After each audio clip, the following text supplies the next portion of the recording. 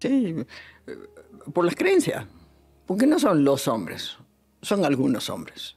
Y, y es porque, porque hay un sistema de creencias violento en el amor romántico, donde una mujer autónoma no cabe, simplemente no cabe. En, ese, en esa escenografía del amor romántico, una mujer autónoma no cabe. Ellos todavía creen que sentirse hombres es dominar, tener la razón, poder más y amenazar si no me eres obediente.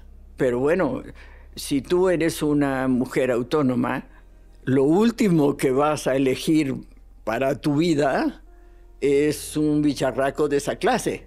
Vas a buscar un hombre que tenga el nivel de conciencia, ni, lo vas a buscar, o sea, va, se, te va a atravesar en el camino eh, algún hombre que tenga un nivel de conciencia equivalente al tuyo.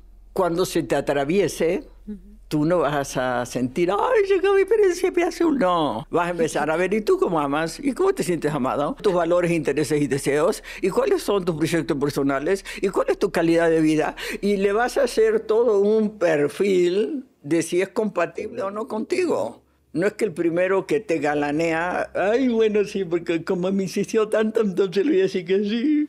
No, no. Voy a decir una cosa más al respecto. Un día hablando de este tema, este, el entrevistador me dice, Nila, me acabas de romper toda mi vida. Y digo, ¿por qué? me dice, porque soy un romántico. Y le digo, mira, una cosa es tener detalles románticos y otra cosa es creer que eso es amor. Son dos cosas distintas. Los detalles románticos a todos nos gustan, no estamos eh, diciendo que los detalles románticos eh, son malos o no hay que tenerlos, no, o sea, pero no pensemos que eso es amor. Como, como la sal en la ensalada, ¿no? Pero la ensalada no es la sal, ni el aceite, ni el vinagre. La ensalada es la ensalada. Las cosas que le pones a la ensalada, los productos que le pones a la ensalada. Pero esos detalles románticos son aderezo, ¿sí? El amor es otra historia.